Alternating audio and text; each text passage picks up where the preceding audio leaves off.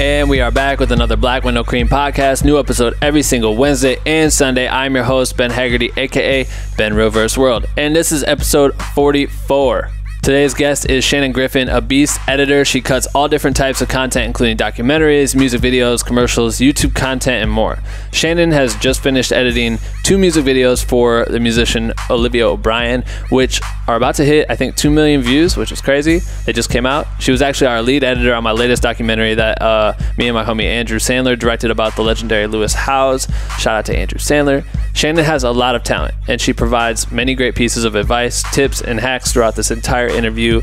Definitely get a pen and paper ready to jot this shit down during the episode. It is fire. If this is your first time tuning into the podcast, you're probably wondering, what does Black With No Cream stand for? Black With No Cream is a private content creator group fueled by caffeine, or at least I take my coffee black with no cream, but you can drink or not drink whatever caffeine you fuck with and still be a part of our community. We are a private group on Facebook open to creators of all kinds, aka if you make videos, if you're a photographer, if you do marketing, managing, editing, dancing, etc., etc., etc., all creators are welcome. Our private group has been growing rapidly. We have a shit ton of members working together by sharing content. They're asking for feedback, they're passing tips and tricks along to one another with the goal of pushing each other to become the best motherfucking content creators on earth. And you can join our group if you want to by going to bwnc.com slash join. Fucking join. We would love to have you. Please join. All right, that's it. Enjoy the work week. Keep creating. Make sure to tune in every Wednesday and Sunday for a new Black with No Cream episode. And without further ado, I bring to you my interview with Shannon Griffin and the most epic podcast intro ever created right motherfucking now. Attention. If you stop this podcast recording at any time, You will die. Do you want to live? Yeah. You have 24 hours to share this podcast with five people or you will die. I'm kidding, you won't die. You're just weak shit for not sharing. And the winner of the best motherfucking podcast goes to. goes to. black with no cream. What do you think? It's so fucking dumb and so fucking Ben Hagarty. I knew you would say that. And we are back with another Black with No Cream podcast. Lit. Today's guest, Shannon Griffin. What's up? How are you doing? Good. I'm good. Are you doing good? Yeah, I'm good. We just recorded the same intro the first time, and I just fucked it all up. So I made her redo it. But she's my homie, so it's cool. Yeah. So thanks, dude. Um, Shannon, you're an editor. Tell me about it. Tell me. You, what kind of editing do you do?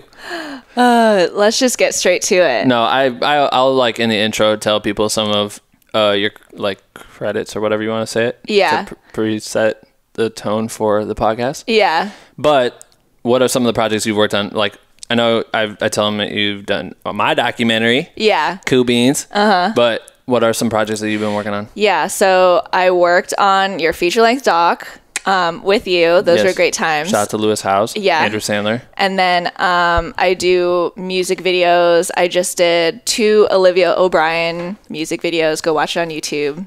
Um, I've done Which I didn't. What was her like? What's her big big song? Did she have a bigger song? Oh yeah, she had a really big song that goes like "I hate you, I love you." I-" Yeah, exactly. Yeah, that's that's. It's that a girl. bop. right? Yeah, so um, but that was a feature on gnash's song, I think. That wasn't like her Oh, it wasn't her record. No, So no. these were like, are these her first singles? Um, on her new album, I think Got that's it, coming right. out soon. Got so got yeah, it. so I did her music video for Care Less More. I did I Don't Exist, and both were directed by Andrew Sandler. Boom. And then um, I've done some other music videos like for Jacob Sartorius. Love that little and kid. Then, yeah, he's great. and then um, I've done a lot of assistant editing. I assistant edit for Cassie Brooks Banks. She does lots of like really sick commercials. She's super creative. And then um, I just started working with uh, Roxana Baldovan. She's just this amazing woman director that I met um, through JR, who you've had on your podcast earlier. And then I've also just started working with Ivana Boren, and she's an amazing woman director as well. So, um, yeah, lots of music videos um, and a lot of like assistant editing projects here and there. What do you? What would you say is your favorite thing to the favorite project to edit? What- My favorite you prefer? projects to edit. Um, I love doing music videos. Yeah. they're they're just they're really fun. Like you can be really creative. There's really no rules. Um, you just have like a lot of freedom, and it's always you know fun when the music is bopping too. You know. Right. the music has to be bopping for it to be a good edit. Yeah, yeah, I like Shannon because for the doc side of things, even vlogging and she's her attention to detail so like zoned in. Like you have a good way to like micromanage multiple things at the same time and Cool. to dive deep into that shit, which I feel like isn't something a lot of people are good at. yeah. You know what I'm saying? Mm-hmm. What do you think that comes from? Um, what comes from what? Being able to multitask and understand how to like, like in a documentary, like it's there's so much, right? There's so much content. There's so much Yeah. interviews. There's so many interviews. There's so many th- words that we need to think about that are being said by different people that we need Yeah. to like glue together. yeah, When you have to take on a project like that, I guess how do you, you know, how can you? You're just so fucking good at it. Like your attention to detail is so you. fire. So I feel like there's a lesson to be learned there. Like there's, I don't know if you had any practices to get very Uh-huh. good at that, or if that's just a natural thing for you. But I don't know. Like with the documentary, like even though there are a lot of different elements, like having to organize all the footage, having to transcribe all the footage, and having to listen to all the footage, like even though it's a lot of work, like I want to do that. right, because I'm interested in it. I want to storytell. I want to be able to tell the best story. So all of that work just comes from the just wanting to do it. Right. You know. So I don't really know. Um, you know. but you just feel like you have to, because I see a lot of people editing and they'll just dive into a project and start looking for, they'll just start playing random shit. They don't comb through everything, and I feel Yeah. like that's like a huge advantage when you're creating a film. Is like you need to know what you have to play with. Yeah. Well, when I was first starting out, I started as an intern on a feature length documentary that was basically almost done. And um, I was trying, I was looking for advice and I reached out to this um, editor who edited The Search for General Tso, who, which is a really great documentary Yeah, you told me about that. I yeah that. and um, i asked him hey um, do you have any advice for me as an editor i would love to do what you do one day and he told me that when you start a feature length doc you should comb through all the footage watch it all because you can't really form a story without knowing what you have. Right. So that's what the kind of mentality that I had when I was diving into your doc is okay, I need to watch all the all the footage, read all the interview transcripts, especially since you guys were so busy, like I felt like that would be the best way to tackle all the elements. Right. And that's the best way to tell a story because mm-hmm. sometimes like what if you miss something? Like you know what I mean? So that's kind of how I approached it and that's why I was so diligent about watching all the footage and like get, making sure everything was organized and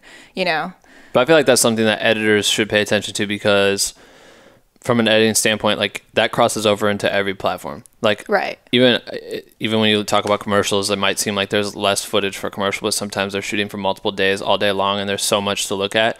But going through and combing through all that or a music video, looking at every single take, like yeah I I feel like that just gives you the upper hand. I feel I don't know why. I just feel like I've seen it happen a bunch where people hop into a project and they're just the assistant editor stacks everything and Mm-hmm. then there's four takes of this performance, there's three takes of this performance and they'll just like go through and just start cutting. If they see something that's cool right away, it's like they'll take it. Yeah. But they don't look at other options. Yeah, there's definitely like sometimes you don't have the freedom or the time to look through all of your footage. You might have a deadline that's super quick, um, but that definitely helps you or gives you an advantage if you have time. So okay.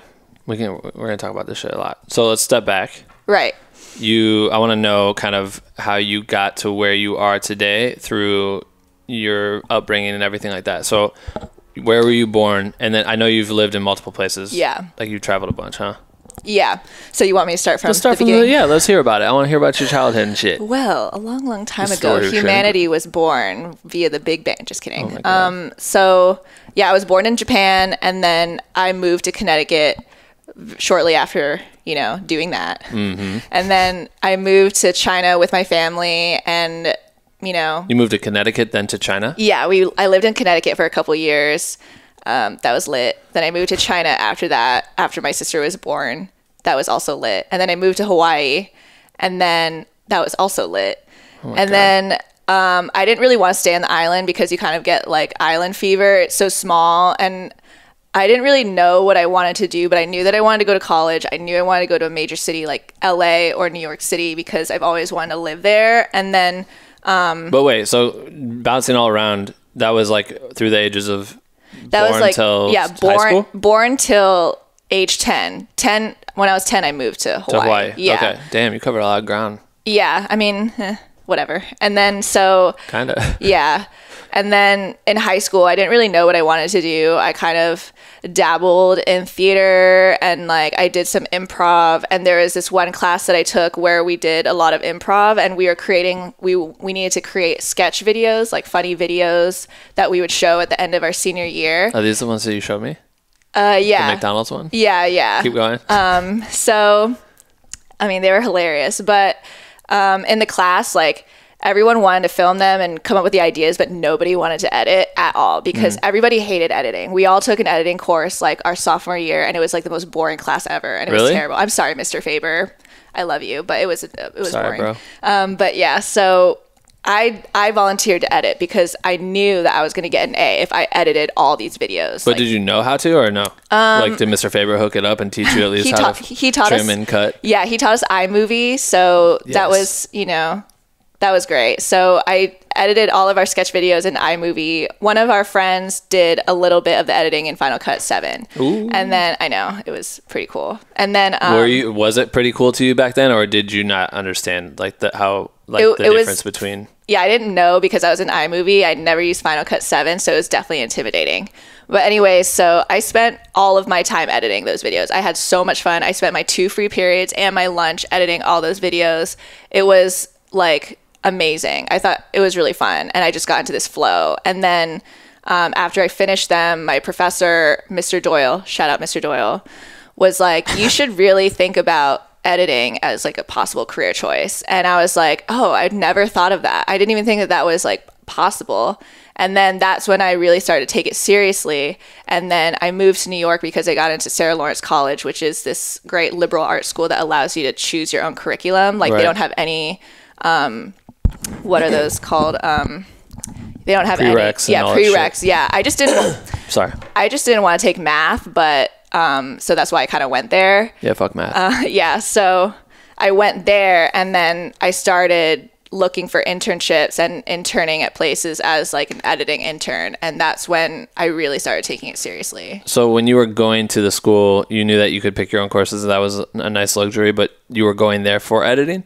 Like you thought, oh, this Um, is cool. I could learn how to edit or work in. Well, I was thinking about going to film school, but I felt like not a lot of schools focused on post production.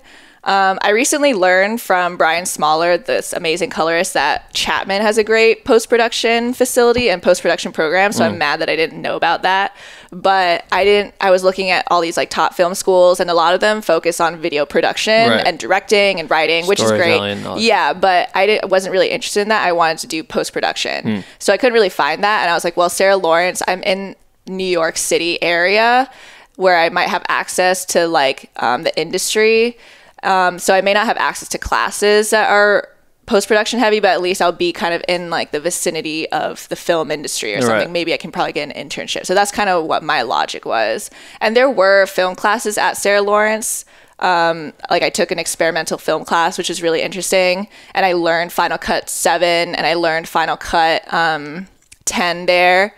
But a lot of my film editing or editing education happened while working as an intern in New York City. was was it like um i think when what's interesting that i think about now is like when you talk about like okay a post-production facility if, if it's at chapman or whatever i wonder if they teach like the other as like it's almost like you need to be well rounded in production in general right? Mm-hmm. To understand it. Like you come to set and see how the shit's done because you dit on set. Mm-hmm. So she'll come and like media manage but she gets to see how the set's done. It also helps you to see how we're shooting and capturing things right? Mm-hmm. Do you feel like that that you need things like that to understand how to edit and tell stories? Like could you benefit from taking classes about filmmaking even if that's not like your uh, oh, want to do this you know what i mean Yeah, I think it's definitely beneficial to take maybe a screenwriting course or uh, a storytelling um, or even journalism course because um, a lot of when I first started editing,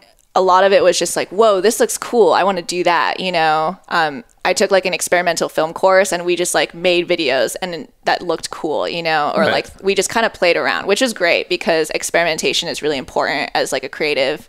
Um, but when I really started to understand um, that editing is about storytelling when I interned for this um, man, Howard Weinberg, at Priority Productions. He's like a, a journalist, and he had this feature length doc. And I would go in and I would edit like a few things that looked cool, but he was like, This is about storytelling. You need to focus on like what story you're trying to tell. And that's when I realized, oh, like editing, although is great to do when you're like experimenting and doing like really cool effects and stuff, it's actually about telling a story, a compelling story and like reaching people. And that's what I what I learned at that internship. And screenwriting helped a lot. When I took like a screenwriting course just for fun because, you know, You love to have fun. I love to have fun, Yeah, you know. Shannon's and I was character. yeah, and I was interested in this professor, this professor Rona Mark. Um, she's a screenwriter, and she was really cool. So I wanted to take her a screenwriting course, and I learned a lot about you know like the three act structure.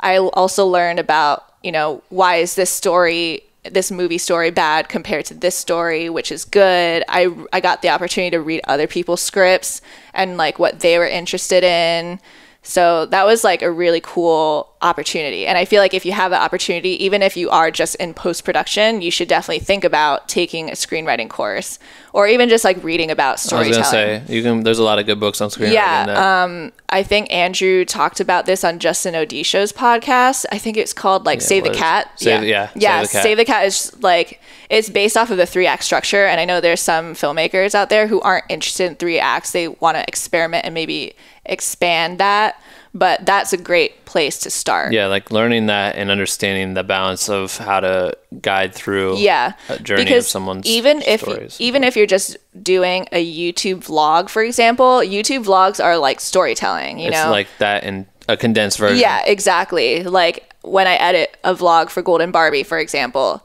she'll have a vlog about thanksgiving Mm-hmm. or something and she'll be like there's a beginning middle and an end and there's like a part where she's like hey guys i'm going To make my-" the turkey. yeah and then the turkey making happens and then She after that turkey. she eats the turkey Holy shit. and then at the end she's like bye guys so it's like that's the story right there you know what i Yeah. mean even if it's basic and a vlog Right. so storytelling and taking a screenwriting course or reading a book will definitely be helpful for you but i don't think you necessarily have to know every aspect of production No, to yeah, you're right. I see.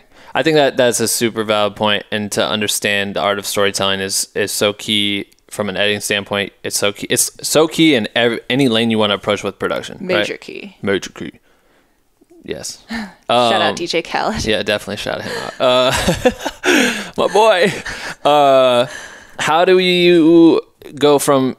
Okay, wait. So you weren't done in New York yet. Like you would start. Were you doing like the doc internship and things like that while you were in school? Yeah, so I was well, yeah, so I would go to school and then I would try and allocate time to go to the city to work as an intern. And a lot of the times it was like very, it was unpaid internships, which sucks because going into the city like costs money. But like, how your school was how far away from like down like in like Brooklyn and um our school was in Westchester County, which is 30 minutes away from downtown New York City. So you have to take the Metro North to New York City. Mm. And each ticket for a Metro North ticket is like, I don't even remember because it's been so long, but it's like at least $7 or $14. is it metro? Is that a train? yeah, it's a train. It's kind Really? of like, yeah. So Damn. there's like different lines. Right. Um, but yeah, look it up on Google. okay. But yeah, so um, yeah, so it kind of sucks having an unpaid internship because it literally costs money to go into the city, buy a subway ticket and stuff like that. But I still did those internships and I learned a lot. And then I would come back after the internship and go to school and like do courses and stuff like that. Yeah, and I mean, I feel like that. Would you say that investment into your internships was like very valuable? yeah, it was super valuable. Like I honestly don't think that I would ever be here without that experience because not only are you like working, but you're like meeting mentors, you're learning so much from them. Right. I had an amazing internship at Orig Media in Hawaii. It's like a wedding um, production um, and like commercial production studio and they do like I said, weddings, they do commercials and they do like other little videos and stuff. And the guy who owns it, Jeff Orig, is like, he mentored me so much and it was, I learned so much from him. And like, when was that? That was like summer um, before junior year, I think, or summer before senior year, my Of senior year school. college. Oh, college. Okay, so you just Yeah. went back home. Yeah, so I went back home for school or from school, and then I got this amazing internship at Org Media, and I learned so much from him. He just like taught me not only about editing, but just about I guess life. He was like really cool, and like he re- he encouraged me to come to LA. Like I was Oh, really? just yeah. After graduation, I was like oh, maybe I'll just stay in New York and like work at like CBS Sports or, you know, work at NBC and then maybe move to LA eventually. And he was like, yo, like if your end goal is to get to LA, get to LA as soon as possible. Right. Don't go in this winding like pathway or don't take like the easy way out. Just go. And I was like, damn, you right. You're for sure right. Yeah. So, he, like internships, like not only do you work, you also like you don't you you get work experience, but you just get amazing mentors. You know, depending on how great the in- internship Were you using is. that to balance, like, to build a portfolio as well? Um, yeah, so I would do like wedding videos, at which I would add to my very measly small portfolio and stuff. Um, just anything to show that I could edit and Right. stuff. But yeah, like I've had great internships, but I've also had terrible internships. Like I had an internship at CBS Sports, and I talk about this internship all the time. It was like it was really bad. Why- um, why no it so offense, no offense to CBS Sports. Um, the other like I I was so stoked to go to CBS Sports because I thought, oh, I want to work at this big company and be an editor and edit like you know All their shit. all their cool stuff. And it was football season. I was so stoked. But when I got there, it was so they didn't give me anything to do. First of all, I just sat there and watched people. Like they didn't give me any tasks. Watch what? People edit? I watched people like manage media. I was in the digital assets department, and basically they just manage the media and give it out to the editors. And I thought that that would be cool just to see, you know, how do big facilities manage media and Yeah. stuff. And it was interesting at first, but it was so boring. They didn't give me anything to do. Like it's a huge company. You're literally just like an ant in this like time in this huge company. And I was like, fuck this. I want to be at a small, I, and I realized I wanted to be in a small team and like make an impact and be heard and be creative. I didn't want to be in that corporate environment, and it was very, very corporate. So that was like a huge turning point. And sometimes like you need to have like shitty internships to realize like what you want. Yeah. The yeah. I think that the I, the topic of internships is so interesting because I feel like you having to invest your own money to get to the city and to take the train and to probably buy fucking new clothes when you're like, oh, I'm gonna go to CBS, I'm gonna look cute tomorrow, blah blah. And you're going out and buying new outfits and shit. And like when you do all that, it's you investing into your career, but then you're maybe not getting out what you want, or sometimes you're getting the most out, which you could have never predicted. Yeah. So like I feel like it's a it's important to always like I I didn't think I don't think I really caught a check when I moved to LA for like over Yeah. fucking 14 yeah, months. it's definitely a great investment if you can do it. Like there are a lot of people who can't do it. Like there's just no possible way, which is really unfortunate. Which is why it's so great when there are people who hire internships and like actually pay them and like Yeah. give them a chance. Like Right. I would love to do that one day when I'm like older and like a boss. You know what I mean? No, for sure. But um, yeah, it's definitely if you can do it, it's an amazing opportunity. Like you should definitely take it, and like it may not pay off right away.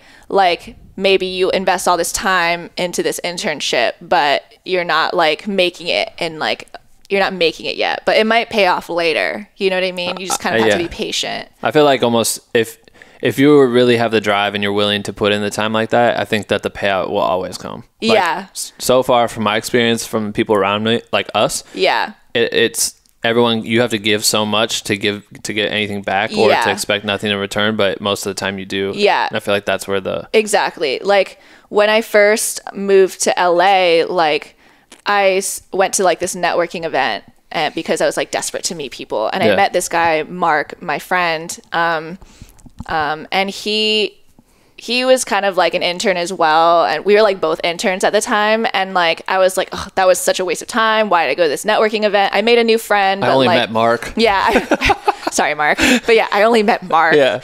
um, but then like mark had a friend who was a junior producer um, at like this i forget this company. And she would hit me up every so often. After i met her through mark she would hit me up every so often being like hey we need an assistant editor on this like a commercial or on this like are you available? And it never really worked out. Like i never went to go work with her but that's kind of like a good example of something that doesn't pay off right away. Because when i met mark he couldn't offer me a job right away because he wasn't like a boss or whatever at the time. But like later on like as i met more of his friends like his friend who was a producer was able to like hit me up and Yeah. stuff. So it's like it may not be so obvious like right away. Well, and I think like the idea of building those relationships because if you look at who you try to intern with, right? Like if your your goal is to intern with someone that's doing it right and you aspire to be like most likely or mm-hmm. or to be in their, you know, same channel I guess as far as what they're doing. But for me it's like I look at it like, all right, cool.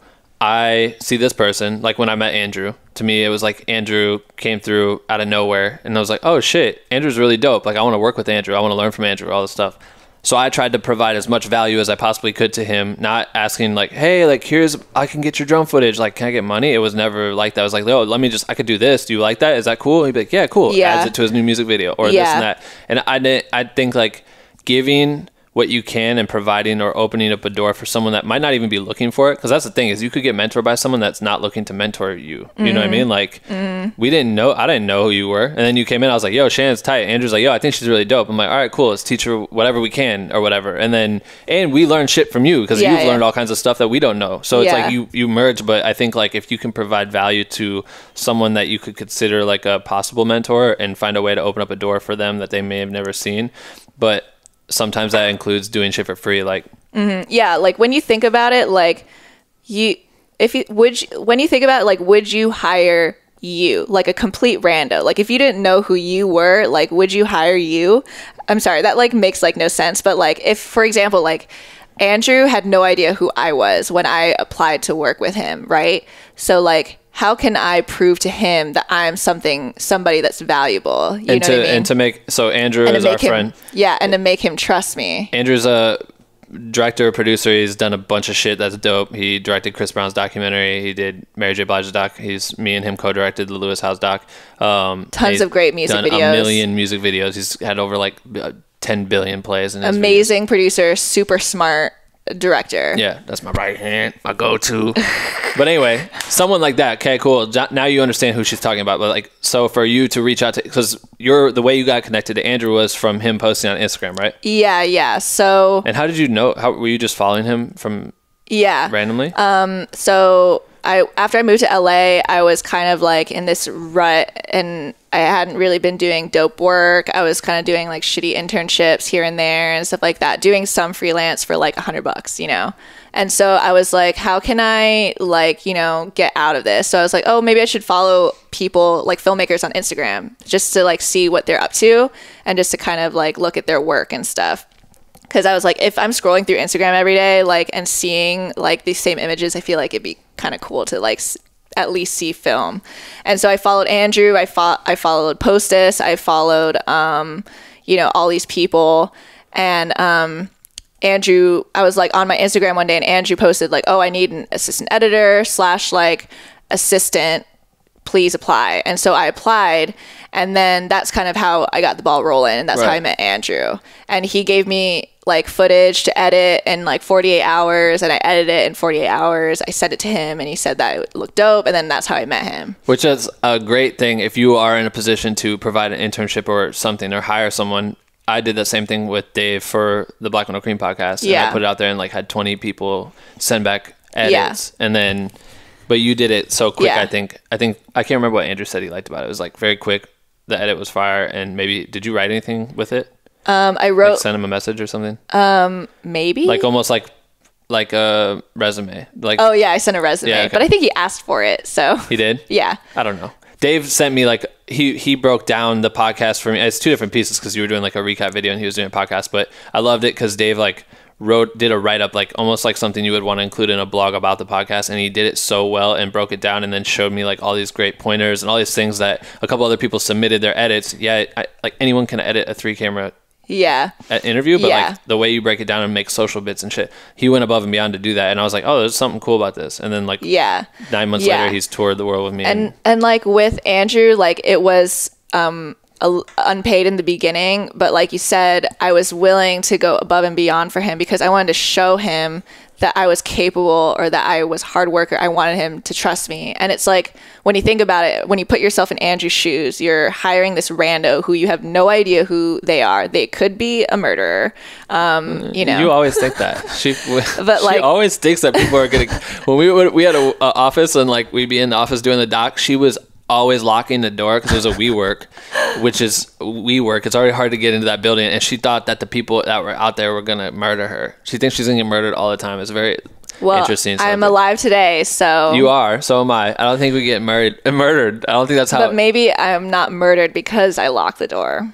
But anyways, um, so, So like, anyway, yeah. anyways, when you put yourself in Andrew's shoes, um, you are hiring this rando who you have no idea who they are. Like, you don't even know if they're a hard worker. Mm-hmm. Like, you kind of have to prove to them that you are hard worker, that you are special, because you know yourself that you're sick and that you're unique and that you have this perspective and you want to show the world. But like, you, all these other people have no idea. Like, you could be like a lazy bum, Right. for all they know. So that's why kind of like it sucks when you have to invest all this time and energy and money into something that may not be that may not be paid, but that's the kind of phase where you're just trying to show them that you're capable, you know. Right. Yeah, no, I agree. I think that I'm trying to decide if I want to. So before we get to Andrew, how long how long had you lived in LA? I was living here I think for like a year or two Doing think, or a year. internships and like Yeah, I moved here and then I had like a couple months where I wasn't doing anything. I was like applying to retail jobs. Um, I applied to work at American Apparel, which I had already worked at by, like in New York, by the way, and they didn't hire me. Damn. I had worked at American Apparel before and they didn't hire me. That is Didn't they just close like close down? That's probably why Yeah. they got no bread. They got Yeah. no bread. Damn. because you didn't hire me. But anyways, um, So anyway, So yeah, I was doing like uh, I was applying to retail jobs. I wasn't really doing anything sick. Actually, I was working at Citizen Skull Productions, which is based in Silver Lake, and I did like a couple freelance stuff. Um, you know, I was just doing like random shit, nothing that was like really exciting. And then that's when I applied to and met Andrew after that had, time. had you reached out to anyone else on Instagram? Well, I was no, I wasn't doing any t- anything like that. Like I was mostly applying like via LinkedIn or like Mandy.com or like you know stuff like that. Just like all those like shitty jobs that you see on like Indeed.com or like Right, right. BuzzFeed. Yeah. You know what I mean? Like people don't realize that there are a lot of opportunities on IG. And like once I started following all these people on Instagram, that's when I saw like, whoa, there's like so much opportunity. People are posting jobs all the time. Like I follow tons of filmmakers and content creators, and there's constantly posts being like, I need an actor. Oh, I need a gaffer. Oh, I need an assistant. Yeah. Blah, blah, blah. So I feel like all those jobs are like way better than like Mandy, which was what I was like applying to Right. before. I feel like even just reminding people, like, say you build relationships with those people, you run into them, or just to like stay on top of them. Like, I don't know how many times like someone says like, "Yo, I can do this for you," and I'm not looking for it at that time. But then like three weeks later, I'm like, "Damn, I really need a graphic designer," and this person may have hit me, but I don't know who that person was. But like, just constantly staying on top of building your network, not being overbearing or whatever, but finding a good way to like remember, make people remember you. You know what I mean? Yeah, exactly. Um, so as you started working with Andrew, what were the first projects he put you on? Just re- was Um, it recap stuff? yeah, it was like recap stuff. Um, I when I started working for Andrew, I was like going to pick up his juice cleanse that one time, and then I was She'll never forget that. I was like I was like, wow, I am really in LA. I'm going to pick up a juice cleanse as an assistant for like this guy. But anyways, um, That's hilarious. so yeah, I was picking up juice cleanses. She's the editor, Andrew. What you got her running and getting your juice cleanse for, bro? You don't need to take a shit that bad. It was really funny. But yeah, I was picking up a juice cleanse. I was doing a lot of like social media stuff, like 30 second IG clips and stuff. Um, what, else? promo based stuff? Or yeah, what? like promos, like for Ryan Blair. I was doing stuff for him. Um, what else was I doing? Shoe Palace stuff. Yeah, Or I was. that not start till later? that was a little bit later. But yeah, I was doing like I was only meeting up with Andrew like maybe once or twice a week. Right. Like it was very very little work, but um it was like yeah, it was doing social media stuff mostly for Ryan Blair. Then we got into music videos. Yeah, and then Well, Andrew got me my first music video gig, which never came out, by the way, which, which was very sad. Like, um, Andrew asked me, I came into uh, meet up with Andrew one day, and he was like, "Do you want to edit this JoJo music video?" And I was like, "JoJo, yeah. like the JoJo, like it's too little, too late, JoJo." And he was like, "Yeah," and I was like, "Oh my god, absolutely!" And then it was directed by Wilmer Valderrama, which was a trip because I was like, I grew up on him at, with that '70s show. That how show. Yeah. Fez, if everyone's not fucking hip, god damn it. And then um, Andrew taught me how to line up my first music video through that video.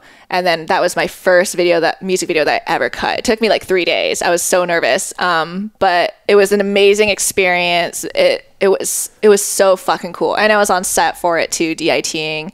Um, but yeah, it never came out, which is very sad. But if you don't know what DITing is, it's like media managing the data that's being collected on set. So camera, I just film a bunch of shit. I give her my card. She takes the card, loads it into her computer, dumps it onto a hard drive at a basic level. Mm-hmm. yeah. Oh yeah, I, I was doing a lot of DIT jobs with Andrew when I first started out with him. And I Right. still am. So Yeah. but now I'm getting paid for it. I think I got paid like fifty bucks for my first DIT Yeah. job Yeah. with Andrew.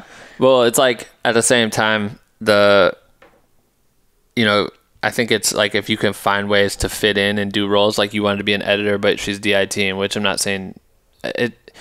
Out, it's like you want to get to a position where all you do is edit, right? Like eventually Right. you have assistant editors setting up your projects for you so you can dive in and do your music Yeah. videos.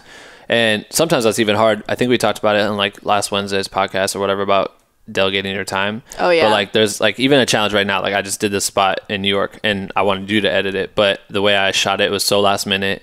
It was so random. Like literally the creative came together like at the last minute and the way we shot it was all over the fucking place. I'm like, it would probably take me more time to try to explain to you what this is. Yeah, exactly. Than for. Mm-hmm. me to just cut shit out. You know what I mean? But like me setting up my own project took time and me doing all this stuff it like takes so much time so if you can find ways to fit in which for you it's like oh cool i can go dit and i can load up pre- preload up a thing if andrew's going to edit it or whatever like you add value to whoever you're working with always do that i feel like Mm-hmm. that's like super super key Yeah, for sure. so um first music video you do doesn't come out which is a fucking a bummer Yeah, it's a huge bummer. I How's was that feel? so stoked because I hadn't edited anything legit, in my opinion, um, yet.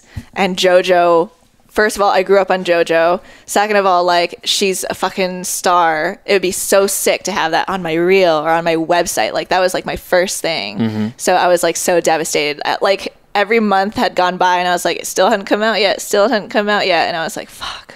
But um, eventually, I did the Jacob Sartorius video, and I think that was my first music video to come out. right So that was like super super exciting, and I worked with Andrew on that, and that was dope. which jacob's like this dope little uh did Little he get homie. popular on vine huh it was vine his outlet Oh no, it was um Musical.ly. Musical.ly? Yeah, Musical.ly. He got famous on Musical.ly and then turned into now he's his girlfriend is uh Eleven from oh, Millie Bobby Brown. Millie Bobby they Brown. actually broke up. No shit, it's a tragedy. like, not too long ago. You know. Just Shannon's on top of it. Yeah.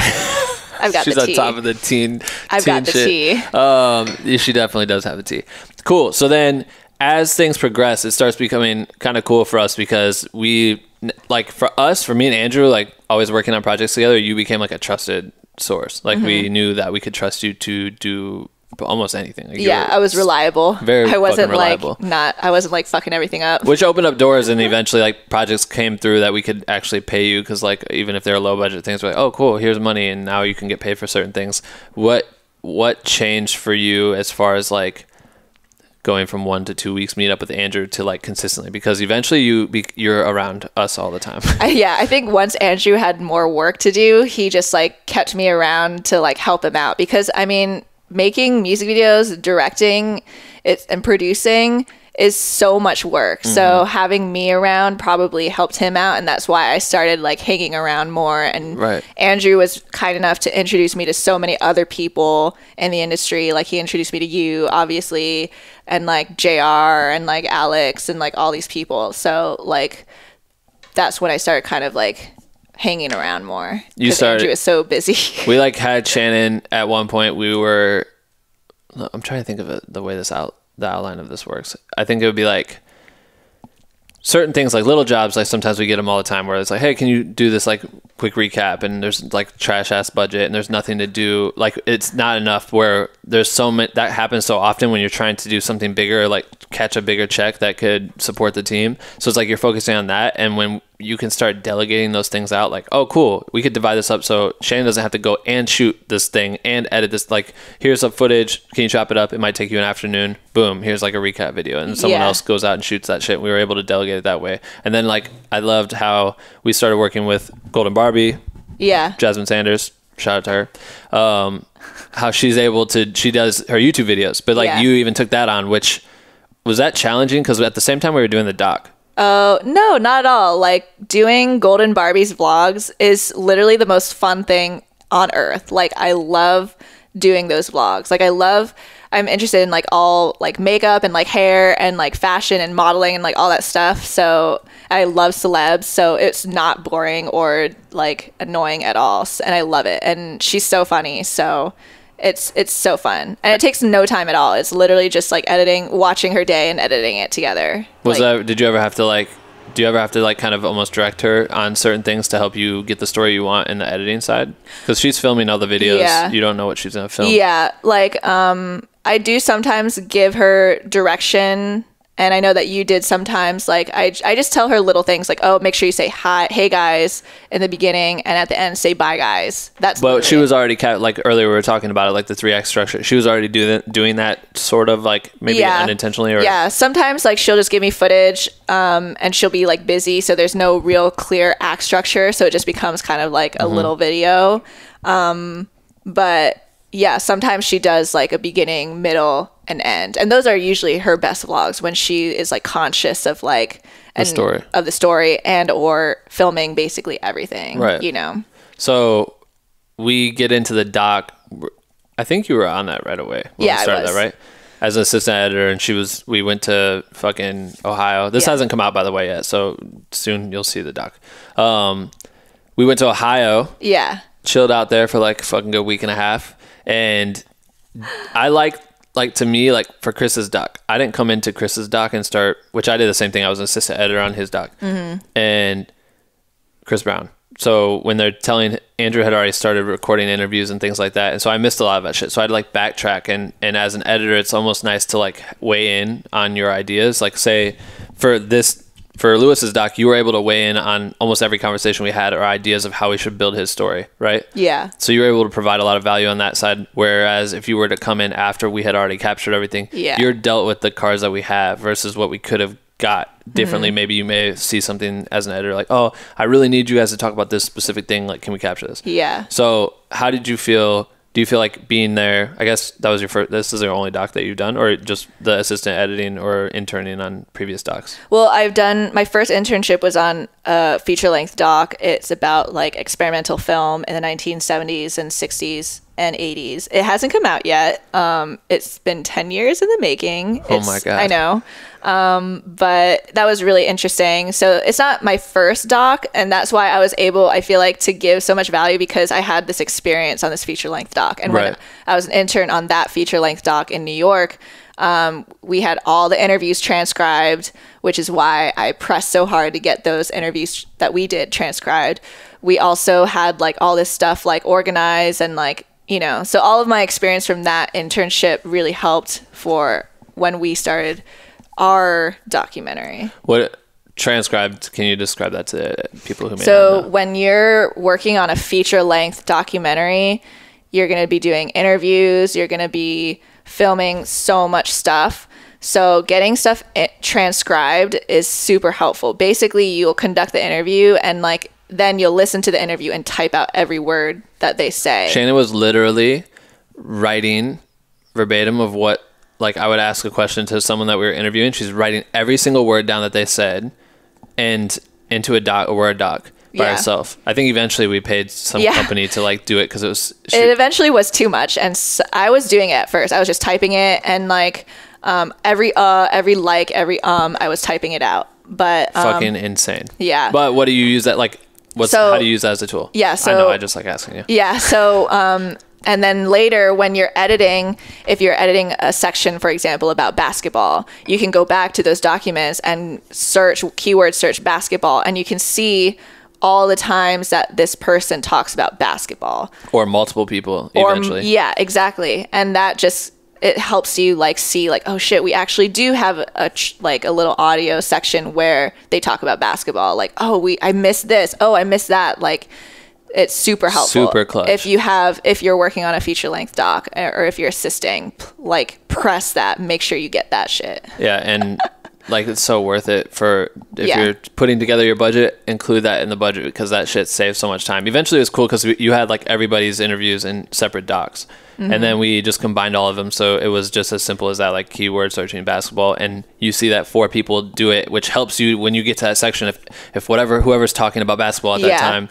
I don't know why we're talking about basketball, but if if this person was talking about basketball, you get all these. Oh, cool! This guy said something around that topic that could fit this sentence and help us break it up a little bit or make it make more sense. It just helps saves you time later. Like sometimes you have to invest and spend a lot of time in the beginning to save yourself time later. Totally. When you're editing. And like for example, like if you have like a cut and you want to add stuff about basketball, then and you don't have the transcripts, then you have to like comb through and watch the footage or like jump through it. Like that would take forever as opposed to going and searching your document.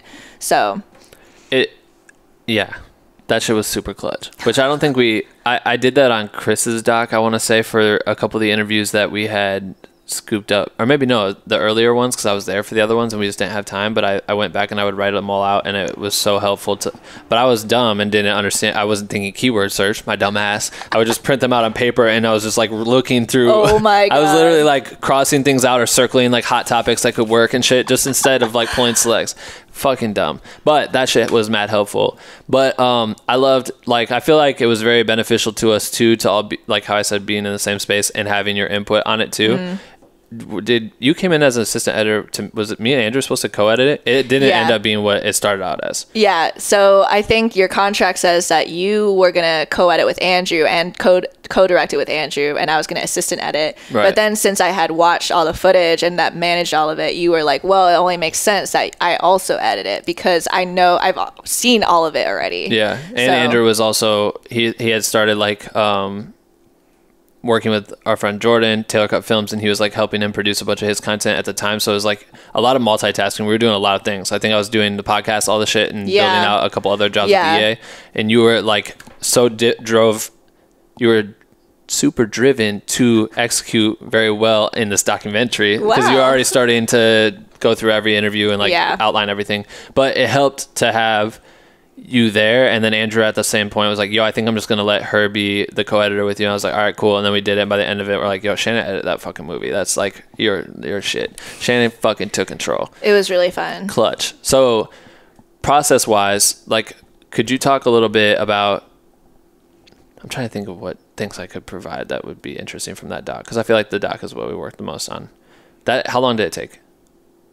We started cutting in October, November, or September, and then we finished it like a year later. I think. I think it took like a year. Yeah. Yeah, because we screened it in for CAA in June or July. And that was the final cut. That was the final cut. Yeah, everything is colored, everything is composed and like mixed and stuff.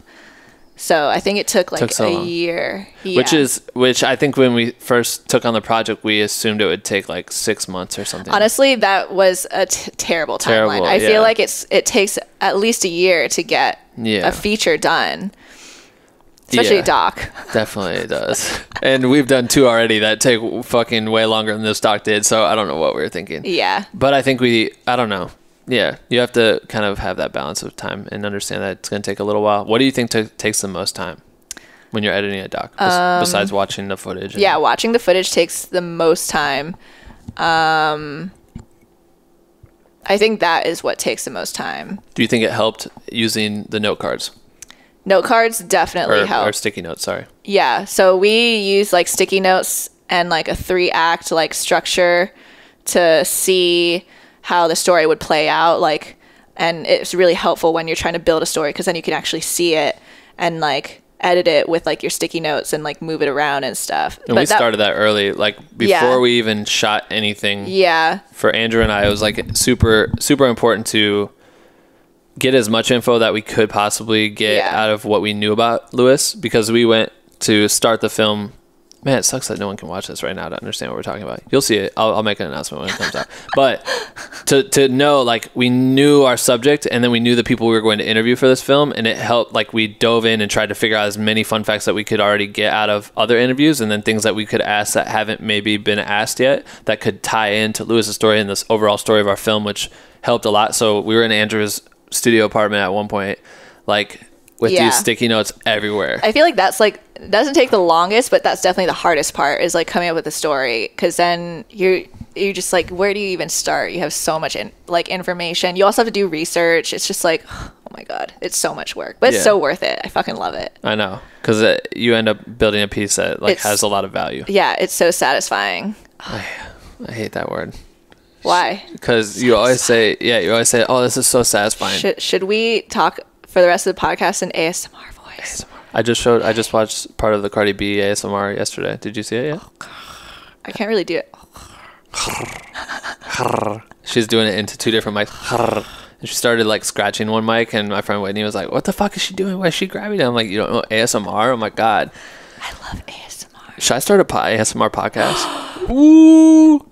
You should. Don't put this in the podcast so someone steals your idea. Today we are going to be talking about editing. ASMR is dope as That's fuck. honestly, that's a great idea. That is a good idea. That's a fucking like- good idea, yo. You should do like ASMR Wednesdays or something. Like today, we're gonna give out tips, like an ASMR. I already have the morning roast on Wednesdays, which is like a 20 minute motivational like deep dive into a topic. Oh, so should Oh. I do that in ASMR yeah, today? I want to do it with the ear one. Like, you know, have you seen the mic that they built that has two ears on it? what? You know how they're like, it's like whispering in your ear Yeah. ASMR. They made like a microphone because it's two mics. Oh, that looks like an ear. Yeah, it has the shape of an ear. So then they'll like rub on your ear. Yeah, or like they'll whisper- suck it. They'll suck on your ear and shit. There's so I many. I don't like that ASMR. ASMR is dope. So check out ASMR if you're not. yeah, if like you're not fucking with it. um, you should do one where you're like, you know how like Lewis Howes does five minute Fridays. Yeah. you could do like five minute Fridays, but it's like ASMR, so people are like people are waking up and they're like, oh, I need to be motivated, and then they listen to it and it's you being like, you got this, bro. You can do it. you know That what I mean? get, like makes me feel fucking weird. Yeah, that'd be sick. Watching ASMR being recorded is like a super weird thing. Yes, uh, I really think if you push yourself, you give it your all. It's lit, fam. All right, let's, let's let's stop talking about this. So you did you cut Wilmer's TV thing that he did with Fuse? Oh, we did What some pro- we did some promos Promo. for um uh his puppet show, Hollywood Puppet Shit Show. Um Andrew and I edited that together. Andrew did I think the rough cut for some of for one and then I finessed it a little bit and then I did the rough cut for the other two and then he finessed it a little bit. And then I assistant edited both. I delivered the assets to Fuse. I made sure that they were Gucci. So that's the work that I did on that. And I think I also DIT'd.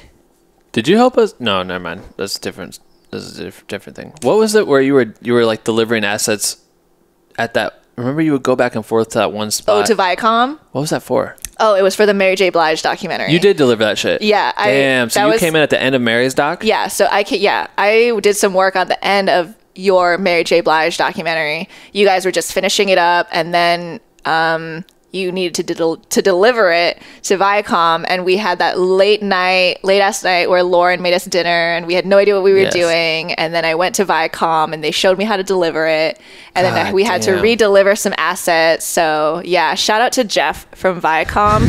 he was so nice, so so nice. Like he told me how to how to deliver files like to a major broadcast company and for free. Like he didn't he did it out of the kindness of his own heart. Thank you, Jeff from Viacom. You a Yeah, real one. Thank you, Jeff. My guy. I don't know you. I, I wonder what he's doing now. I still probably think just about him. delivering shit. Yeah. You know what I mean? He he sits in Viacom and he watches things that are delivered to Viacom the, in entirety to Q. He QCs it. Oh, shit. And then he gives it the okay to broadcast. Like he literally damn. watches it. He watches it like this. He watches like shows. He watches like Real Housewives or I don't know something like that. I'm just like, don't they? What can't they have dope-ass job. I know, but like, can't they have like robots just do this? Like, why does it have to be like a human person? Well, I mean, shouldn't it just be us? Like, if we're like, hey, this file's been QC'd and it's good to go, like, then the, that should. I mean, well, they have to QC that I our know. QC. That's weird. Yeah. Well, then we should let the. Yeah, fuck. Um. Okay. So, doc, we finished the doc. Yeah. I guess we're not telling your story. It's still like this current time. Like the doc just finished. Like literally, like we're pretty Weird. much. Yeah, I feel like we're in present day now. We are in present day. The. Do you prefer docs? Would you do another one, knowing how long Yeah. it takes? I would love to do another one. Yeah? It's really fun. I love it. It's like very painful. I it's like it's like delivering a baby, but like cuz I just like I would love to do it all over again. You just forget how painful it was. you know? Yeah. I've never delivered a baby before, but I I think that it's an accurate metaphor, Sure. you know. Yeah, I could feel that. If you if you had delivered a baby, please confirm with me. I've then technically delivered three babies. What? Docs. Oh, right. Exactly. Shit was- Congratulations. shit was tough. Thanks. I- I went through it. Sweated a lot. I really do think it's it's like very. I mean, it's so emotionally containing and it like really fucks you up for a while. Like Yeah. it's nonstop hours. Sometimes this doc would have been impossible without you. sometimes like i think when i'm editing anything even a music video or a doc i'm just like why did i do this to myself like it's late hours just like sometimes adobe fucks up and like doesn't work shout out adobe Shout get your shit together PC. Um, yeah like sometimes you just it's just so much work and sometimes i'm just like why did i do this to myself is it worth it but then af- after you finish it you're just like damn it's so fucking worth it you know what i mean Why though? I don't know. Like it's just it's fucking sick. It's fucking dope. Like making shit that people watch. That's dope. That's dope. Right? Yeah, Like no, when, yeah. I'm you know- asking you. I just want. Yeah. Do Yeah. do you like? How's your family? What do they think about this shit? Um. Well, Or I don't. or whoever? Like, My I don't know what my if my grandma even knows what I'm doing, but like, um, I don't know. My mom and my dad, thankfully, have been so supportive of me. They just like think it's cool that I'm doing what I do, um, and getting paid for it. were they military or something? Was that why you guys were traveling No, around? no. Uh, my dad, he was he works for Otis Elevators, and he was in Connecticut because they had like I guess a headquarters there or something, Mm. and then he had an opportunity to move to China to work in Otis there, and that's where that's why we moved. Right. And then my mom wanted to move to Hawaii, so then we moved to Hawaii. I know, because I mean, Hell yeah. yeah. Why not? They still live in Hawaii. My mom still lives in Hawaii, and my dad is still in China, um, and my sister is in New York right now. You guys are all over the fucking My place. my sister's in New York saving the world right now. She's fucking lit. You should have her on the podcast. What she do? She um works for Superman? no. she was interning for Batman and Superman. She works for this um this like women's rights uh group. I forget what they're called. They're really famous. They're really big. And It's like a nonprofit or something. Yeah, yeah, it's like a nonprofit. She does lots of nonprofit work. She like canvases. She like calls people when there's like elections and Yeah. stuff. She's she's fucking dope. Brutal job. yeah, it's crazy. That shit's emotionally draining. Yeah. Fuck our doc. I know. So now you just did the Olivia O'Brien music Yeah. videos. How long? When? How were those back to back? Like Yeah, those are back to back because I think she had like a contract or something with Under Wonder. Like, oh, let's do two videos together. right. Yeah. So That what was the- sick. what was the process of that? Um, Well, Andrew brought me on to edit those, which was amazing. He, I, I love working with Andrew. Andrew is like, we just click. Yeah. and he just lets me do my thing. He lets me edit, and then he'll have notes or something, and then that's it. Like it's we just have like a great process. So I love working with him, and I love working with all the people that he brings on and stuff. He just has like a great energy that he brings to set, and he's he's very very smart. Like he knows what to do with a budget. He knows how to cre- be creative within like the ba- like artistic bounds that like he's given. It's just like it's dope working with him. Um, but yeah, so I was on set for that. We had like an overnight shoot, I think, from like 4 p.m. to 4 a.m. I managed the media. This is so. What did they do? They shot both of them in the same. Time no, no, frame? no. This was we did one video at a time. Got it. So for the I Don't Exist video, we shot it somewhere in LA, and then it was an overnight shoot. I managed the media, and then I think that I had a, an- a day to make the proxies because I was just do- doing them off of my laptop, so it was super slow. Um, and then the next day, I edited it, the whole thing, and then the next day, I worked with Andrew with his notes, and we worked till like 9 p.m. I think we had some wine, and then um, Crucial. yeah, and then Crucial need. after that, we sent it to Frank, the executive producer and owner of Under Wonder Content. And then he gave us a, a few notes before sending it to Olivia. And then we did his notes. And then after that, we sent it to Olivia. And then Olivia had notes. And then after her notes, we sent to color and we did all the VFX. And then boom, it came out. Goddamn. Yeah, it was it was cool. It was really fun. The I don't exist video has 1.2 million views. How's that feel? It's pretty cool. I can't believe like 1 million people have seen this video. 356,000 people have seen the other one. That's cool. That's only like a couple days old. Yeah, that's cool. Yeah, she makes she makes like really good songs. Do you ever look Certified through, slapper. Do you ever look through the comments and try to see if anyone talks about the edit? Um, Sometimes like I I'm I'm too weak for YouTube. Like I hate YouTube comments. I could never be a YouTuber. I just take everything so personally. Like You don't like this comment from Food Idiot that says perfect face, perfect body, perfect voice. How is she so underrated? You don't ever just feel like giving a little conversation with this guy? yeah, I love it. Damn. I, I remember when all the Chris videos started coming out and it's like it happens so quick that you don't even realize that it affects people. Like that your work is affecting people. You get all these comments and all these people like reacting to these videos or like Yeah. My favorite is if you if you ever get lucky enough to see this shit. I remember watching this guy review one of Chris's videos that we did. Yeah. And he just like is playing it and reacting to it and the reacting video is so fucking funny. Oh my god, I gotta watch He's it. just like, what the fuck is this? Oh, oh shit, Chris is walking over to a girl. Oh blah, blah, blah. And he's like reacting to it. And we literally had just finished it like the night before it came Oh, out. shit. So it's like, wow, like no one was seeing this and it was like super exclusive. And now this fucking guy is Yeah. like telling us what he thinks about this yeah. shit. The other day I was at Nocturnal Effects with JR, um, and he he did the VFX um, with Kavika for the Cardi B Ring video featuring Kehlani, and he saw a video that was just like roasting the shit out of it. Out He- of the VFX? out of no out of the, Out of the edit video. they were like why is there phones here why why is she like performing in this rock area blah blah it was literally just like shitting on it all Oh over God. and jr thought it was hilarious he was dying he i think he sent it to mike the mike ho the director it was it was really funny You've been working with Nocturnal a bit lately? yeah lately What have you like, been doing with them? They're VFX. literally jr um the is he a CEO? Is it JR? Are you a CEO? I don't know. He owns J- that yeah, shit. JR owns. Why'd you look at the camera that's pointed towards me? I don't know. This I want. too. I wanted to look at all of them, but yeah. JR, are you the owner? But yeah, like um, J- I was literally just making spaghetti one day at, at home, and then J- I got a call, and it was Jr. And he was like, "Hey, do you want to come um, work with me today? I've heard so much about you from Kavika." And I was like, "Yeah, let's do it." And he was like, "Do you even know who I am?" And I was like, "Yes." And so now I work with JR.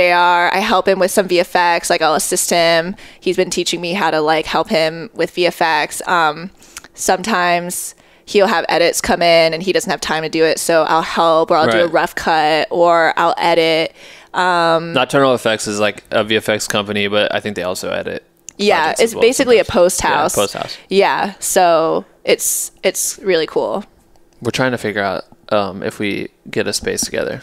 Jared, do you want us to do that? Uh, We were thinking about like I like the idea of getting since it's like a creative collective, like we're all bouncing jobs off each other anyway. Yeah. Like getting one massive house that is like just the spot where we all work. We should all just like you know how in the Olympics where um they all I want to know where this is going.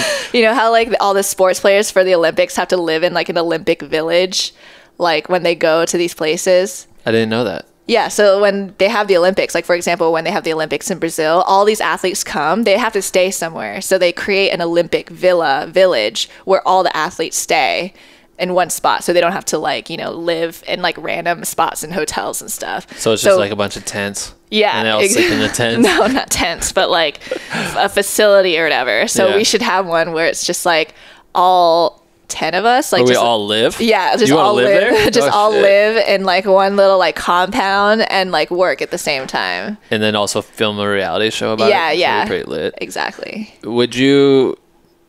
No, I don't want to do that. I think that we need to separate work from home. But I feel like we always bring work home. You're constantly working from home. We're literally Well, filming I don't. this. It's not ideal. I don't. We are filming this in my kitchen right now. I don't want to be in my kitchen. this shit true. looks dumb as fuck. The video looks so dumb to me. Like I need Aw. to. It's just this picture that my homie Scotty made. Shout out to Scotty, Perspective Aw. Collective. But I'm just saying, like, I want to create an aesthetic, and I can't do that in Yeah, my that's kitchen. true. I have to tear all this down as soon as we get done. That's Like, true. It's my living room. That's true. But I love the idea of, for sure, Andrew's mindset is this. Like, he loves being able to, like, clock out. Like, if he can go home, even though I know he's still working, like, he likes to at least be able to go home and have his moments there. Have his me time. have his me time. But I think getting a space that we could all go to and be creative, even though it's multiple companies, like I love Mm-hmm. the idea of that being a spot where we could just go create a living room could be like a creative boardroom. You know what yeah, I mean? Like, yeah. Being around like creatives or fellow creatives or people that are doing like similar shit that you want to do is so fucking important. Mm-hmm. It's just like opens up a whole world for you. collabs become like more Yeah. important, I guess. It's so- like when you think about like, okay, am I gonna go hang out with this friend who like just smokes weed all the time and like does nothing? Or am I gonna go hang out with this friend who may also smoke weed but does more shit? Like what is gonna give you more opportunity? You know what I mean? Like are you gonna just do nothing or like be around people who like do shit? Right. Like it's it's just like gonna open up your world and like it might give you more opportunities than you think, as opposed to just like sitting in your house alone, you know? yeah. Yeah, I like that. Maybe we should look at that. I think that's New Year's goals. Mm-hmm. I don't know. I've been looking at some houses. I think it'd be dope. It'd be fucking dope. Um, all right, so I let Black With No Cream community ask you questions. Okay, word. I think you've looked at a few of them. You don't have to spend a lot of time on all these. I just want to kind of give give you a quick like bang bang bang bang. You know what I mean? so, wait. First off, I feel like we covered everything. Did we? I don't know. Do you, do you feel like we're we left something out? What haven't we talked about? Mm, I don't know. I think that's it. These I think are going to be like direct questions about specific things, and I read a lot of them. Like, Well, are you still curious about other things or? yeah. Oh, being a woman in the industry. Oh yeah. Fuck, let's chat about that. Yeah. I also this is fucking crazy because you're the second girl that's ever been on my podcast. you should have more. I would love to have more. Yeah. She just said she's gonna introduce me to her homie who directs videos. I would love to have her on Yeah. here. I'm gonna watch your stuff. too. Yeah. Sorry. Yeah, but yeah. Um. I have a I have I, I like I've been building since I got home from tour. I have like my Rolodex of people that I've been wanting to get on here.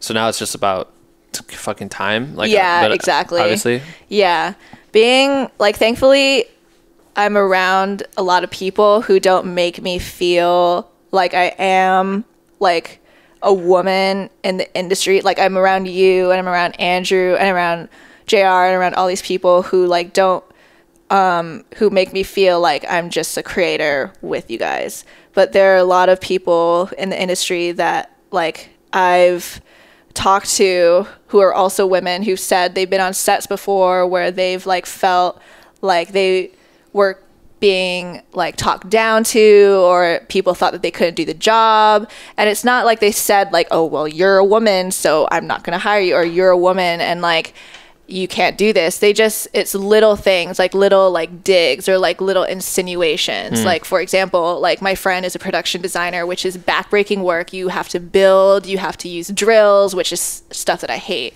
And like people constantly are like doubting her like oh you know how to like drill you know how to like do Pick this up a two by four. blah, yeah, blah. you know how to do that. And she's constantly battling people who say stuff like that. And it's maybe they don't mean it in that way, but like it's stuff like that that like makes women feel unwelcome in the industry. And like thankfully I haven't really experienced it that much. Um, but it's definitely like an issue that like other people have experienced and it's and it sucks so bad because like I feel like it should be like a community where like we all create together and we all come up together, you know what I mean? So but I feel super lucky that I'm in a position that I'm in, and I can't wait to give that opportunity to another woman or another yeah. person that, like, you know what I mean? It's it's gonna be sick. Have you been looking for other women like editors that are in the come up or like Well, I love, you know, I love Taylor Tracy's work. I love like Jacqueline London's work, Jen Kennedy's work. They're all amazing women editors. And I wish that I want to work with more women directors. Like I just started working with Roxana Baldovin, who's a sick director. She's so creative. I just started working with Cassie Brooks Bank as her assistant editor. And I just started working with Ivana Boren. There's just so many people out there, all, so many women out there that people don't really know about. Right. And it's mind blowing because they're fucking killing it every day. Mm-hmm. So I can't. I feel like when I'm on set, I'm usually like the only woman, which is fucking crazy. Well, it's like such a male driven industry where it's like I feel like it is always like that. Like the, I've had 40 this is my 40 so, so fucking 4, maybe 43. I don't know what episode number this is, but two women, that's it. But Mm-hmm. Yeah. it's also because a majority of my friends are guys in this industry that Yeah. I've connected with. There isn't very many women that you run into on set like you said. But it's funny because like when I was on Roxana's set, she the the set that she had was like half women, half men. Like a lot of the people there were men. It was it was interesting to me that that was refreshing. Mm. Like why is it so hard to get that? Like she she did it easily. She Right. found like so many women who could do the job, who Right. did it great. And it's the producer, the director, me, the editor, the art director, the production designer. So many people were women, Mm-hmm. and it's mind blowing that people still have sets where like that isn't like that isn't happening because Right. the real world is like that. Like half women, not, Oh, not half and half exactly, yeah. but like it's funny that like it's still all men. I feel like people aren't trying to meet people who are women. You know what I mean? It's it's just weird. No, I'm with that. That's that's why I would love for. I need to. I would love to interview more women that are in it, but also it's the same thing because like when you show up to a set, it's almost always a bunch of dudes. The women are usually yeah, it's kind of like a artist or something. It's a weird cycle because you only when you meet only men, then you only know men, then like you know what I mean. So it's like um, we have to go and make out make like an effort to go and like look for people who Right. are women or like who aren't usually on set. You know what I mean? or find people who are willing and to we also yeah we also have to think about our biases like that are unchecked like what am i are, am i when i'm hiring people like how am i like perceiving them you know what i mean or like checking to make sure that we're not making assumptions based off of nothing you know what i mean like um, for example, with the production designer that is my friend, like some people look at her and they're like, "Oh, sh- how could she possibly do this job?" She's like five three, but like we need to check those. Like, am I making an assumption about her because she's like a five foot three woman, or is she actually going to be able to do a good job? Right. You know what I mean?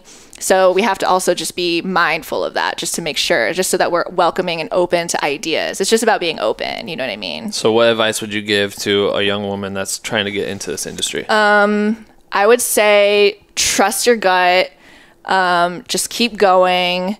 And if people give you shit, just be like, why are you giving me shit? I'm just trying to learn. okay. You know what I mean? Because I feel like people, there are a lot of women who are afraid to ask stupid questions because they want to seem like capable. You know what I mean? But I met a lot of men who aren't afraid to ask stupid questions. And I feel like if people are giving you shit for asking a dumb question that you don't know, just be like, why are you being that way? I'm just like trying to learn. Right, You know what I mean? So don't be afraid to ask stupid questions. Oh, also apply to jobs that you may not be qualified for. Because when I applied to Andrew's position, assistant editor position, he was like, you need to know the entire Adobe suite. I did not know the entire Adobe suite. I did not know Photoshop. I still don't really know it that much, but I still applied and I fucking got it. Yeah, you, you know? figured it out. So just apply to jobs that you may not even be qualified for. Right. Like my dad and my mom instilled in me from like a really young child, like, you never know, just do it. Like my dad, okay, this was a little crazy. He was like, you should apply to Harvard. You never know. I'm just like, dad, stop. Like, but it's kind of true. Like, you never know. Like, might as well just try. Just Yeah. test your assumptions. Right. Like, um, Did you apply to Harvard? no. They probably do math. I didn't there. even want to go Fuck to math. Yeah. I didn't want to go to Harvard anyway. Yeah, me either. but yeah, like um, just like one of the things that I love is testing your assumptions. Like there's so many times where like I'm like, oh, I could never work there because like they're all so dope and like Right. I'm not. But is that true? Like what is that based off of? Nothing. fear. Yeah. Is Always. that is that based on facts or is it based off of something that I made up in my Right. mind? So like think just test your assumptions. I Yeah. think is like one of like the greatest advice I could give out. I love that. Ayy. I love that. It's lit. Um, who do you look up to that's uh in the industry killing it from a directing standpoint and, and editing, women wise? I guess you named off a couple of editors. You've already said that. Oh yeah, I named off a couple editors. I also that- like Bill Yukich. Is that how you pronounce his name? That's so bad. But yeah, like he's really cool, and I yeah I love all of their work. No, women. Oh, women. Sorry. Shout out to Bill, but I was like, Sorry, who, who are like maybe three? Do you have any three favorite directors, women directors that you would recommend people start paying attention to their work? Um, definitely be on the lookout for Roxana Baldovin, Senora Directora. She's fucking lit. She's so cool and she's so creative, and her sets are like mostly women. She's fucking sick. Like, I, I just love working with her and she's cool and she has a cute cat. So Tight. but yeah, I love. Uh, who else do I love? I love Taylor Tracy's work. I would love to meet her one day. She's, too. She's dope. She's so sick. She's fucking killing it. And like, I love Jacqueline London's work. I love Jen Kennedy's work. Like, they just like make such cool shit. And also, I. I love Beyonce. I'm not just saying that because you work with her. Like every time I need inspiration, I fucking watch Lemonade like crazy. over and over and over again. Like it's it's so fucking amazing. It's nuts. Yeah, but that's something that I watch all the time. If I'm ever feeling like creatively in a rut, then I watch Lemonade. I watch Lemonade. Yeah. okay. Questions from the community. Um, everyone wants to know what you edit with. Sean Saucy says, obviously, want to know what she edits with now, or is she hesitant to use or switch to other programs? If she's, if do you use multiple programs? Um, Are you still using Final Cut? I just I use Premiere Pro, CC. I use um, Media Encoder, DaVinci Resolve sometimes, but it's mostly Premiere Pro. Um, and then um, I used to I used to edit off of Avid like a long ass time ago when I was interning on that feature length documentary. It was terrible. forever ago, but I've totally forgot it and I don't use it ever. Um, and I used to use Final Cut Pro 7 when I was first starting out, and I loved that. And I started using Final Cut Pro 10 shortly after that for like wedding videos and stuff when I was working in Hawaii. Final Cut Pro 10 is really great for wedding videos. Like, it's honestly the perfect tool Really? because their multicam feature Oh, right. is perfect. Like, it would honestly be perfect for this setup Yeah. because it's super easy. Like, it processes your footage super fast. It has automatic renders, and you can multicam three angles Hmm. with one audio, and then you can cut really fast. Right. Premiere Pro's multicam feature is v- lacking compared Yeah. to Final Cut Pro 10. Damn. So I, yeah, I used to use Final Cut Pro 10 all the time. I loved it, and I still do. Like I would use it if someone needed me to. But I Hard use tip for Nikos. Well, when you're watching this, maybe. Yeah. Maybe we get Final Cut 10. but yeah, so um, and you pay for it like once, I think, and that's it. So Right. that's really nice. That's nice. Um, but yeah, so I only use Premiere Pro, and it's only based off of what people need. Yeah, yeah. I feel like it's kind of like the industry lead right now. Yeah, exactly. So Cor- a couple people kind of asked the same question, but Corey Sparks and Joshua Gareed, Garees, Grits, Gut Tierzy. Sound it out. I don't want to sound it out. Uh, they both are kind of asking about the way you edit because I posted a, a timeline Tuesday picture that you posted. Yeah. And so they were like, could she break down the pancake timeline? Um, Corey asked that, and Josh said the project file looked crazy neat. How does she organize her project files when she's doing a big video, docs and music videos? Like, could you quickly describe like an out like what you would do as far as like setting up your projects or what how you prefer it to Yeah. be and edit? Well, every project requires different types of organization. Like, for example, if I do a wedding video versus a vlog versus a recap video versus a doc or a music video, it's all different. Right. But generally, I put all my footage in a footage folder, and then I put all my audio in an audio folder, and then I just organize it by scene, and then I just put it in my timeline. I layer on top of it, and then I just like start cutting. You do you pull selects ever? Sometimes I pull selects. Yeah, it depends on what how much time I have. Like Right. if the deadline is like tomorrow, then I don't have time to pull selects. yeah, yeah.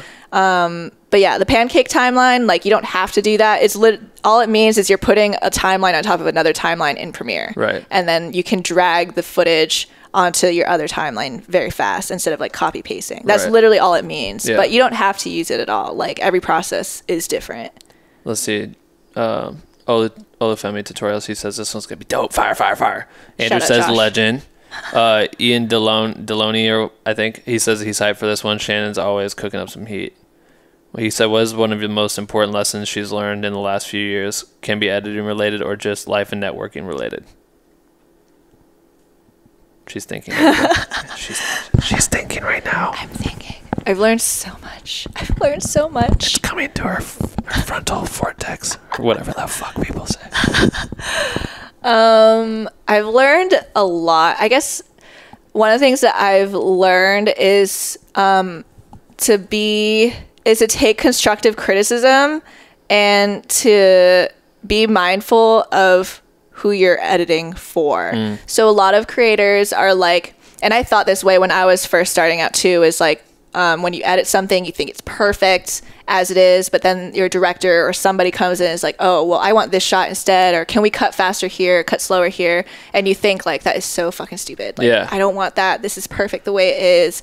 And you want to argue with them and you want to, like, be like, no, this is like the, my perspective and like I need to have autonom- autonomy as a creator and stuff, but you can't do that. Right. Like you are editing for somebody. Who are you getting paid by? Somebody else. Like the only time I feel like you have full creative control is if you have your own YouTube channel. You know what I mean? Yeah, or if it's your project. Yeah the lead on your or project. yeah or if it's your your project you're funding it or something you know what i mean but if you're editing for a client or a recap video for you know somebody sick or even like for beyonce like you have to be mindful of what they're saying and you can't just like knock it down right away like be open to what they say and like at least hear them out and people will want to work with you more if you are like that like they just want to be heard you know mm-hmm. what i mean like don't be like a dick and be Right. like no Yeah. absolutely not you know Because that's just kind of life shattering when when they, when you think you're at it is the shit, and then they're like, nah, this needs to do this and this and this. And Yeah. it's like, what the fuck? But Like- it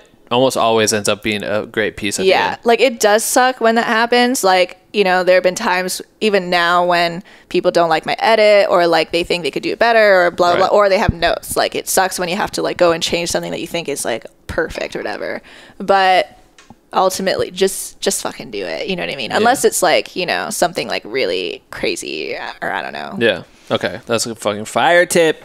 Fire tip. Uh, let's see. What else do we got here? I'll ask like two more. Um, general workflow. We've talked about that. Fernando says, "Hell yeah, it's gonna be dope, dope, funny." Oh yeah. I don't know what he's talking about. Someone the other day on set was telling me that i should be a stand-up comedian and i was like no fucking way I could see. I could see it. I think I could see it. no You, she'd just be like, uh, so anyway, like bop, music's are bop.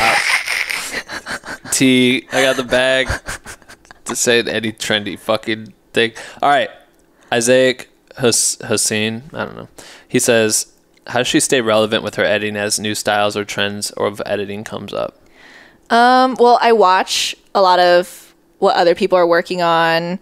Um, I feel like that's a really good way to start. Just see what everyone else is doing. Like, don't compare yourself. Like, oh, like I wish I was doing that, or like, oh, when will I be that? Like, don't like compare yourself to other people, or like don't copy people. But it's good to to watch other people's stuff just to see you know, like new styles forming and stuff. And like you might have a client that's like, oh, I really want this like Gibson Hazard type like Right. video. You know what I mean? So like that definitely helps. Um, but ultimately, what really what really matters is what's in your heart.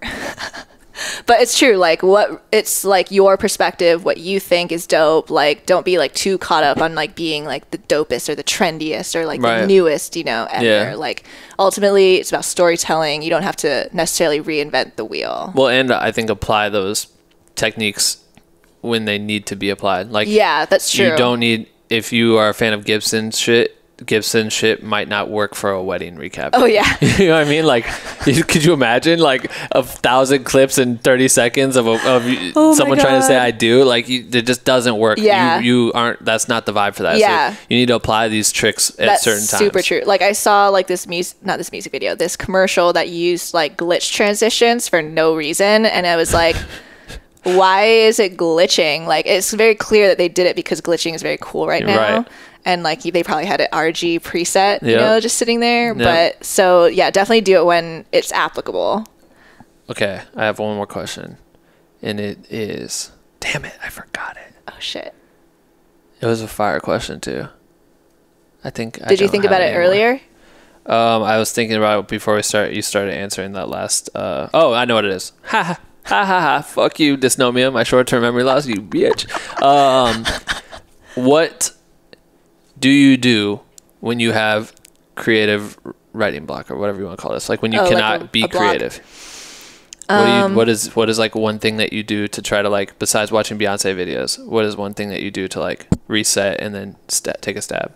I think that's like when you're in a rut, you're kind of like too into your mind. At that point, you're just like stuck in whatever like syndrome that you're dealing with. So I think going out, you know, being a human being and like talking to people and like going to the ocean, going to the beach, um, doing like real world like activities and stepping away from like your creativity or your, like your edits or your work like will really help give you like more perspective. I think that's like major key alert. Yeah, I think too many people like stay trying to do their edit, like they don't step away. And I think when you can learn to step away and allow yourself some time to like go to the Mm-hmm. gym or go to wherever, you're gonna be able to come back with a new mindset of something or see it different than you would if you were just to say, I need to work for eight hours straight. I need to Yeah, exactly. And sometimes when you fall asleep, I like um like think of edits in my sleep. So I'm like, oh, perfect, I fixed it, and then I can go out. Yeah, so maybe take a nap. take a nap too. Okay, cool. well, that's a fucking good ass interview. Thanks. Lit. Bye. No, I'm joking. Uh, how do you want to end this? Um, if everyone could please get on your Instagram right now and follow Shannon. Her Instagram is at Shannon Griffin. Or is it? No, it's at Shannon C Griffin. C Griffin. Yeah. What's the C for? Chintana. Oh, That's my middle name. Shintana? Chintana. Yeah, Chin- like chin. Chintana. Yeah, Cool. that's my mom's name. It means fantasy. She needs to start a podcast called Shintana. Yo, that would be lit. Fantasy. Hello, another day of fantasy with Shintana. Um, follow her on Instagram. Check out her website to see some of her work. I, I'll put the links in the show notes. And uh, yeah, anything else you want? More work is coming soon. Yep, always. Mm-hmm. I let everyone when they do a podcast um, use a hashtag so that if anyone listened this far, they can. I tell them to go to your last Instagram post and then put the hashtag whatever you said and tag me at Ben Real vs World. Tag me in it so I know that we both know that they made it this far. What do you want the hashtag to be? Um, I know what one I want for this, but I want you. You can have one. um, hashtag. Uh, No, you have to say one. hashtag. Uh, Okay. Mine was gonna be like hashtag Shannon ASMR oh, that's a good one. or Shannon and Ben ASMR, but I think hashtag uh is the fire the fire choice. So yeah, hashtag uh maybe four H's and um tag me in it so we know that you listen to this shit because you're a real one. And yeah, that's it. I think the last thing I want to say is that I'm not like where, like I haven't like made it yet. Like I still have oh sorry, some, that's it. We don't have any more time. like I still I feel like I still have so much more to learn and so much more to grow and but this is like what I've learned so far. You know what I mean? yeah. And yeah. We should do a follow up uh with you, me, Andrew, maybe Mike. We should do like five of us. Get Alex to come through and do a podcast when Lewis's doc comes out. Yeah, I'm That'd be down. fun. All right, cool. All right. Hey, how, how do you want to end it? Any questions? No, we just did that. I let them. Yeah, if you have questions, DM her. But how do you want to end it? Say goodbye or something. Um bye. Oh. we'll just cha- clink our glasses. Oh, with like can we do something ASMR-y? How the fuck do you? Oh, you want to put like the mic next to it? Yeah, like can we clink like like can we clink the mic too? Does that sound like a good way to wake up? This is the weirdest way I've ever ended And a then podcast. um we can say like goodbye. goodbye. Thank you for listening. See you later. She's giving me weird chills. Done. Bye bye bye. That's it for episode 44 with Shannon Griffin. Thank you for tuning in and listening. Make sure to follow Shannon on Instagram at Shannon C Griffin so you can start fucking with what she's doing. You can find all our social links in the show notes. Visit bwnc.com slash podcast for that shit. And if you watch this shit on YouTube, drop a review in the comments. If you listen on iTunes, leave us a review in the review page so people know that we are lit. And if you're interested in joining BWNC, just go to bwnc.com slash join. We would love to have you in our private community of creators. Merch store is currently shut down, but I'll get some things out soon. I know I've been saying that for a few weeks, but it'll happen. Follow us on Instagram at Black With No Cream. Follow my lame ass at Ben Real vs World, and subscribe to us on every platform possible. Turn on those notifications, you motherfucker. Uh, all right, that's it. I'll see you next Wednesday for another episode. Cool. See you next week, you bitch.